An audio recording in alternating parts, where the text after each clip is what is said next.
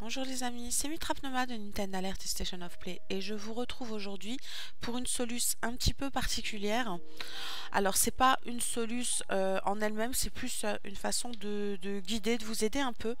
Alors j'ai écouté, euh, j'ai lu vos commentaires, vous me demandez souvent de vous montrer sur la carte où se trouvent les sanctuaires et je pense que celui-là vaut la peine qu'on montre sur la carte. Alors voilà où moi je me trouve, donc c'est à la grotte du lac de Torgol et le sanctuaire se trouve ici. Voilà, donc je vais dézoomer.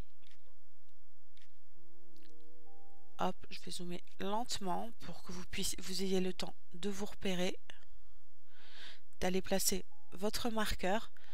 Donc la grotte se trouve ici.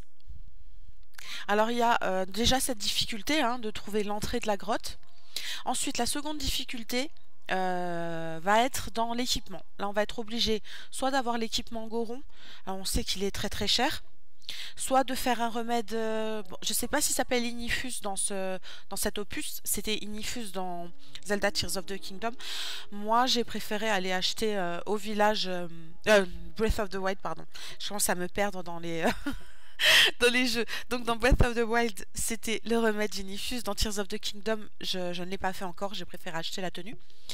Donc bref, vous allez être obligé de faire l'un ou l'autre. Soit d'acheter la tenue, donc d'aller au village euh, Goron, soit de faire la recette. Ensuite, la deuxième difficulté, je ne vais pas refaire tout le trajet parce que ben, je l'ai euh, déjà fait et que, et que bon, c'est pas que c'est pénible, mais c'est un peu pénible.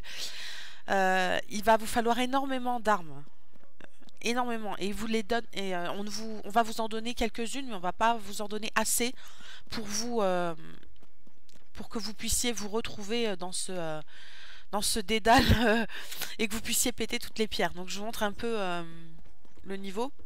Donc en fait si je vous aide un peu au final parce que bon je vous montre le cheminement en sachant que moi je, je me suis vraiment tapé toutes les pierres de tous les côtés.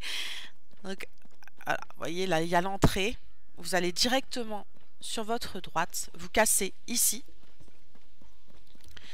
vous continuez par là, et vous allez arriver là.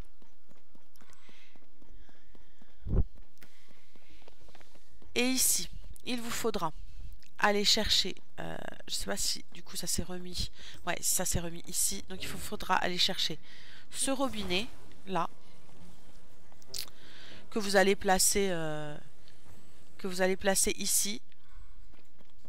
Et il vous faudra vous faire un, cheminement. En sachant que j'oublie de vous préciser mais ici vous allez trouver voilà sur, ce, sur cette stèle vous allez trouver le fameux cristal vert. Vous savez qu'on trouve dans, euh, dans certaines grottes à énigmes qu'il va vous falloir euh, transporter jusqu'à l'autre côté de ce champ de lave. Donc je vous montre un peu comment moi j'ai fait. Après, euh, peut-être qu'il y a une autre euh, façon de faire, hein, sur pareil. Hein. Hop. Je sais pas si je l'ai mis assez près là. Je l'ai peut-être pas mis assez près.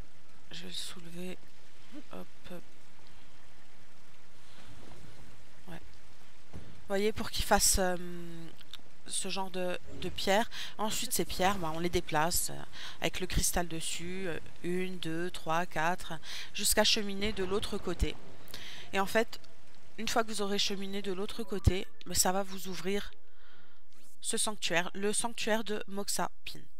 Donc, je vous répète un petit peu parce que c'est vrai que c'est pas évident.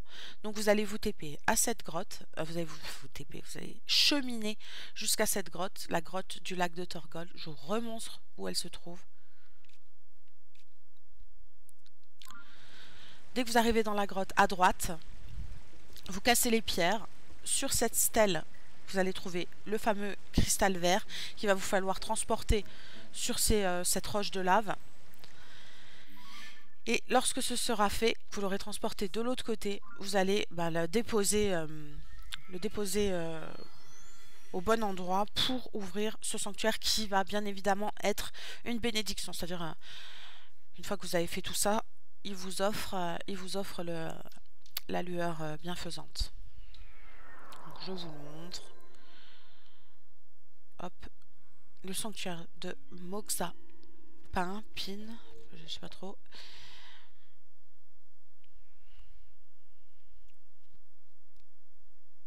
Donc dans ces sanctuaires-là, toute la, difficulté, c'est vraiment le, cheminement. Hein. Vu qu'après on est euh, dans une bénédiction.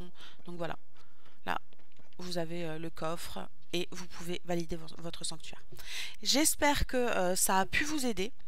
Si c'est le cas, bah, n'hésitez pas à commenter, à liker, à vous abonner. Ça fait toujours vraiment plaisir de voir l'engagement sur les vidéos. Je vous remercie beaucoup et je vous dis à très très bientôt les amis. Bye bye